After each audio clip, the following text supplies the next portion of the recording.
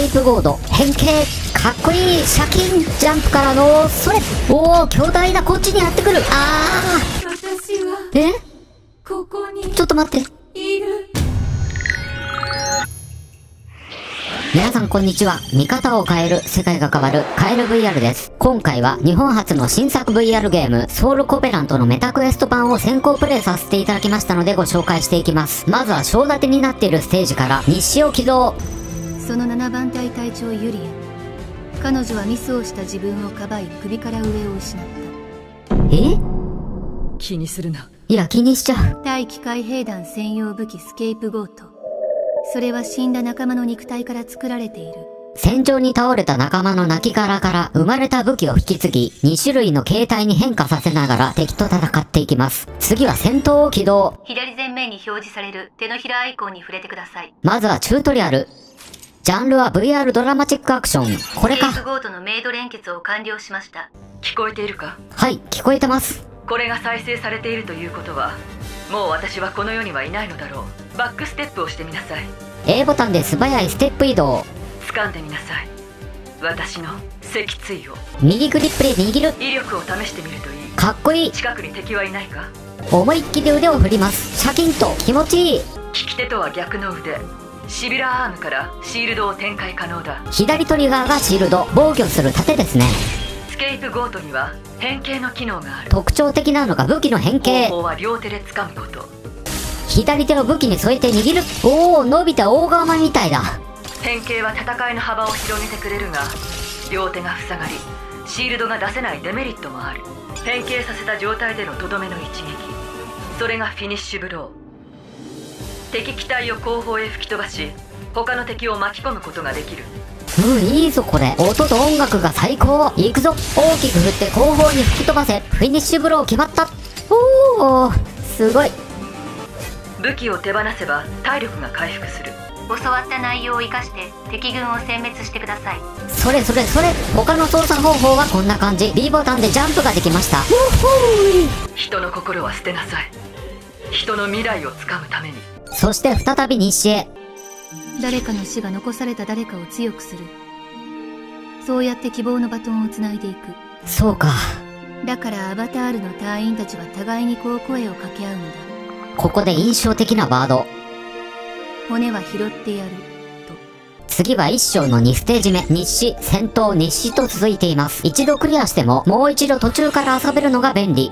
中枢である人工知能アダムはもともと真の世界平和を目的に作られた。機械兵団は従わない人間を虐殺。東京アークは残された人類の抵抗拠点だ。人工知能イブの語りはクールですね。そして戦闘へ。次は輪廻デバイスについてだ。所持者の生体ログが毎秒刻まれている。ボタンを押してみなさい。右手首が輪廻デバイス。主な入手源が鉄器が保持するモナドになるだろう輪廻デバイスを閉じなさいモナドは武器の強化などに使用できます。敵を倒すと、利き手とは逆のシビラアームを前に伸ばしモナドを取り込んでみなさいモナドを落とすので、左手を伸ばして回収。吸い込まれた。演出がいい。それを繰り返しエネルギーを貯めることで大きな力を放つことができる腕が赤く発光するのが合図になるそれまでモナドを取り込み続けなさい倒して、回収。倒して、回収、回収。腕が赤く発光したならこちらに来なさい。モナドをため切ったならデモニックバーストを放てる。大量の敵を一掃できるほどの力だ。モナドが溜まって赤く光った。さあ試してみなさい。左腕を前に出し、二の腕あたりに右手を添えて、右グリップを握ると、デモニックバーストを発動。いけー!敵を一掃する強力攻撃、モナドを回収。教えられることはこれが全て。隊員番号 B0307 次が最後の命令だ。生き残りなさい。武器を握ったその手の中に私はいる。だからいつでもつながっている。未来を生きて。わかった。お前は私が生きた証だから。人類最後の砦を守るために戦っているのがアバターと呼ばれる強化人間多くが機械兵器デウス・エクス・マキナの餌食となる運命だその機械仕掛けの神が東京アークに到達すればリマスタリングが起き世界は終焉すると言われる。右トリガーで仲間を蘇生。すまないわね。他の仲間はみんな殺された。くそーそうか。行くぞ。シングルプレイでも仲間が加わりマルチプレイしている感覚。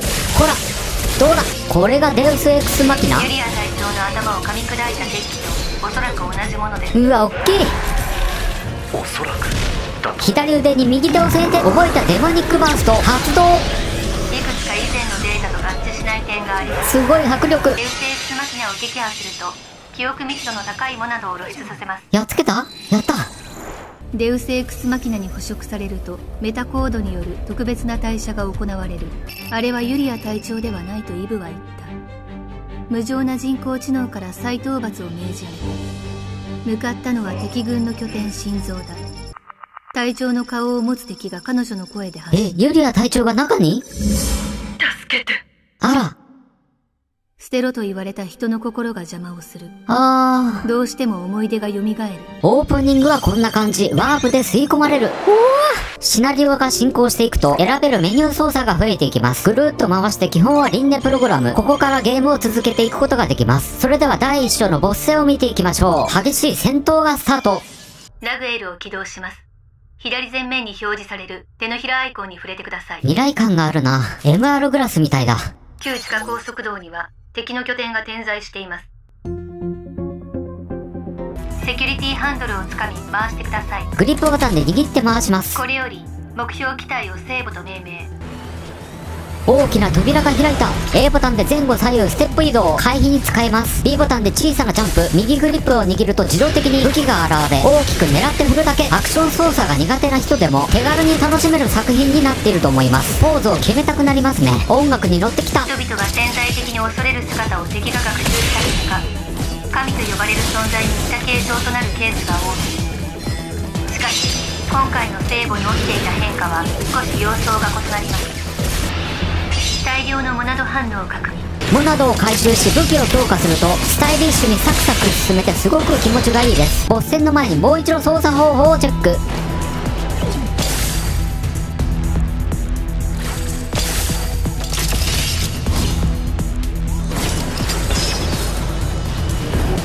ェールの更新を試みてください。仲間が倒れている。解析を開始。弱点だ。弱点を狙え。よしやっつけるぞ隊長の言っていた通り人の心を捨てなくては。近未来の廃校した日本を舞台に強化人間と機械兵器の壮絶な戦いが始まります。いやうー激しい。左の手のひらアイコンをタッチすると弱点を発見。頭部がピンク色になった。この押し寄せる大勢の敵や立ちはだかる巨大な敵に圧倒。あなたたちに会いたかった。やはりユリア隊長の声だ今まで見たことがない魂が揺さぶられるような展開。アクションの没入感がすごすぎる。これぞ VR ゲームといったところでしょうか。もう大興奮。おお行くぞ。デモニックバースト。どうだ？私はあれ？まだここにいる。この声はユリア隊長？じゃないのは分かってる。戦うだけの人生だっこんなこと隊長は言わない。でもうわうわうわ近い近い。VR ならではの迫力さ。あらまた戻ってきた。避けないと。このソウルコベラントはシナリオキャラクターデザイン音楽などそれぞれの分野で活躍するクリエイターが大集結。主にソウルサクリファスの制作陣が中心に関わっているそうです。ドラマチックな世界に導いてくれますよ。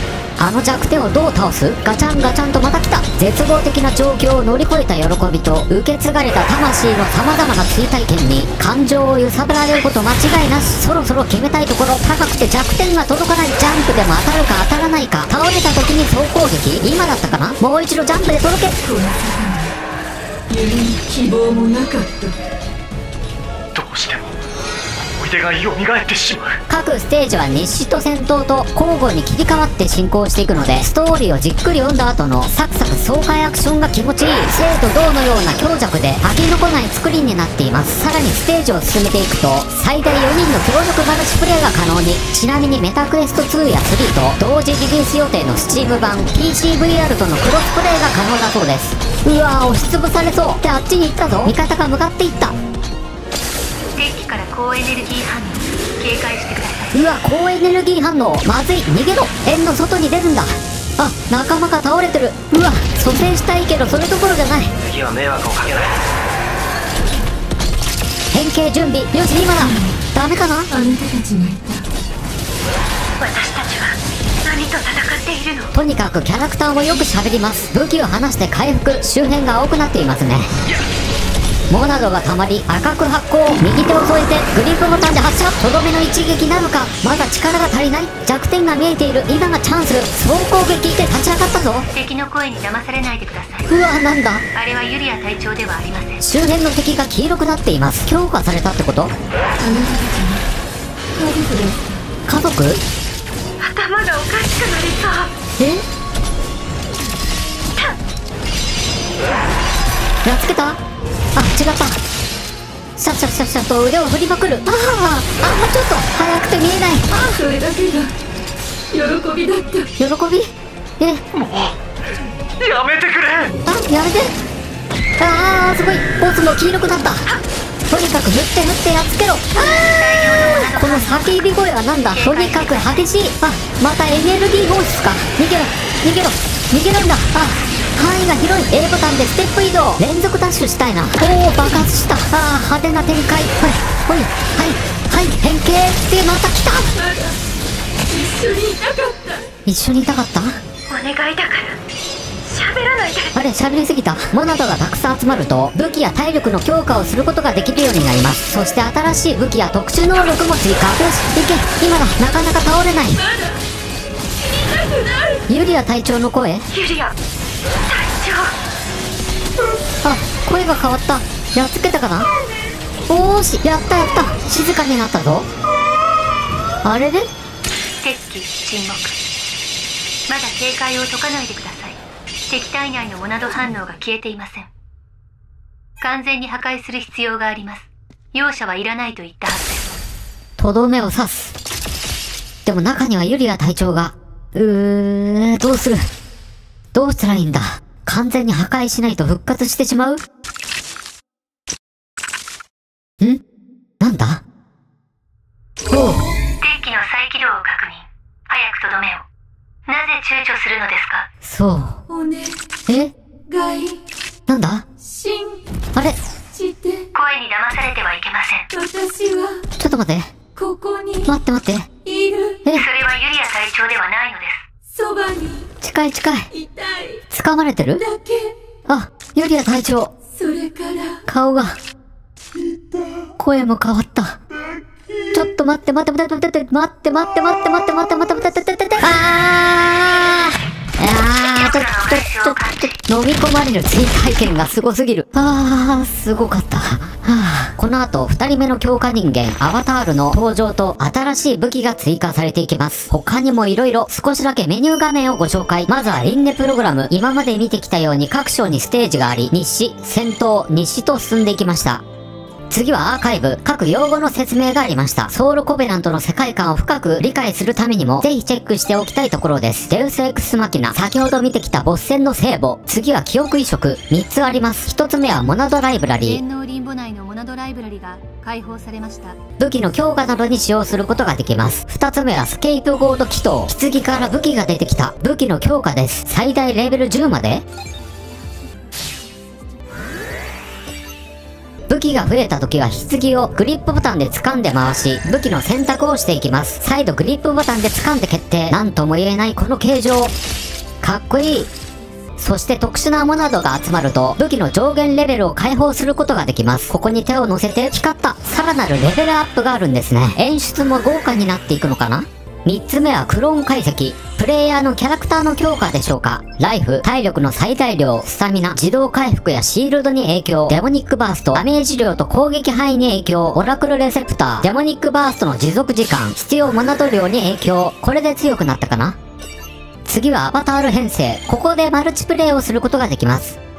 最後はメモリーバンク5つ項目がありますが、操作を覚えるヘルプと設定のオプションがメインとなるでしょうか。中でもオプションの操作方法でボタンの確認ができました。ゲーム中は Y ボタンのサブメニューでも確認ができます。また、一番最初にゲームを開始するときは、こちらの8人からキャラクターと色を選択することができます。変更したい場合はオプションのキャラクターエディットを選択してください。マルチプレイの時に表示されるんだと思います。ということでいかがでしたでしょうか個人的には飽きずに楽しめるバランスの良い仕上がりになっていると思います。先の展開が気になりますね。ソウルコベナント、日本時間2024年4月19日リリース、ネタクエスト版ほか、スチーム版、プレイステーション2版同時リリース、さらにサウンドトラック配信も。なんでなんだ、相棒。